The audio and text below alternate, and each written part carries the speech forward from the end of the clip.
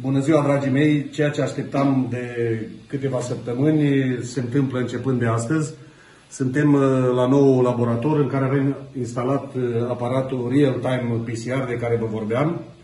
Sunt aici alături de, de doamna doctor uh, Murani Postumia, care va face descrierea aparatului și aș vrea să vă spun că Deja de ieri și astăzi am început să facem probe, iar colegii mei de mâine vor începe să facă primele teste pe real-time PCR pentru depistarea potențialilor infestați cu nou coronavirus COVID-19. Doamna doctor, în primul rând aș vrea să vă mulțumesc pentru ceea ce faceți dumneavoastră și colegii dumneavoastră, să vă asigurăm că atât eu cât și managementul spitalului Vom face toate eforturile necesare să vă asigurăm toate materialele de protecție și de lucrurile care aveți nevoie.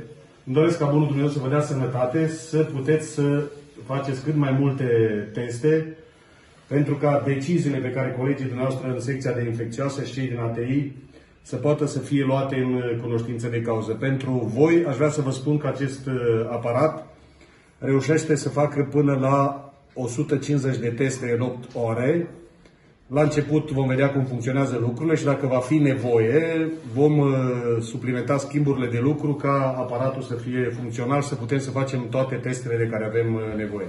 Doamna doctor, vă rog. Mulțumesc.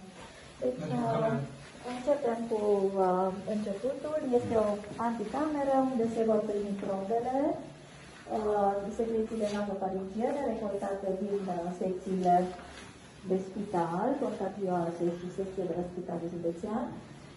Avem în stânga o cameră de prelucrare reactiv, de preparare reactiv, cu hotă, cu protecție UV, un congelator pentru păstrarea reactivilor la temperaturi foarte joase, minus 80 de grade Celsius. Așa. Așa urmează de extras. Deci am institutul biologic de clasa a doua pentru laboratoare de biosecuritate nivel 3. Aceasta este nota. Camera de extragere a acidilor nucleici, arene. Așa. Aici este un sterilizator autoclav un frigider și urmează ultima etapă, camera de multiplicare.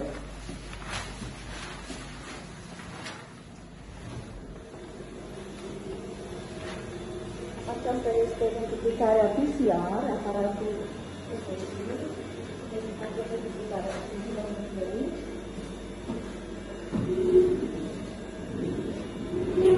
și interpretarea rezultatelor va fi transmisă într-un soft de calculator și mai departe spre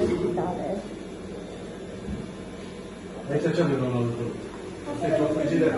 congelator pentru stocarea probelor. Se păstrează după prelucrare, se mai păstrează o, o perioadă Dacă este nevoie să se reanalizeze, trebuie stocate până la neutralizare.